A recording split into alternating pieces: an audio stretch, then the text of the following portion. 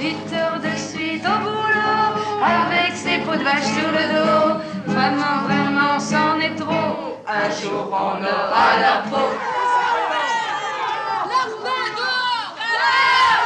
J'ai un incident devant l'entrée de l'usine.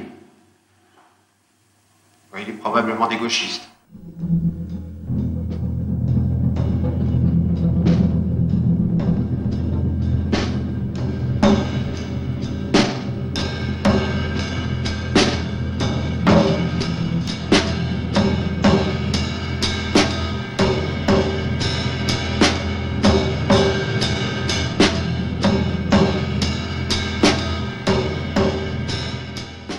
Des cigarettes Euh, T'es pas bien, non On a droit de fumer, nous, dans nos ateliers.